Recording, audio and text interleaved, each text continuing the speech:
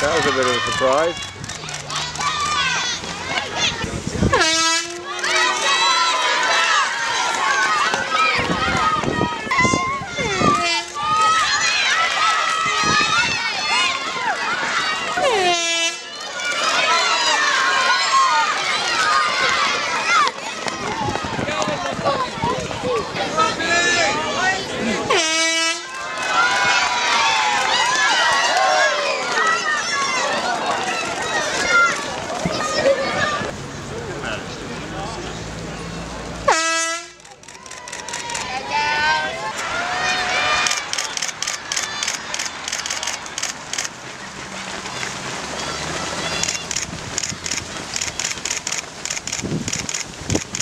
Go, Roger.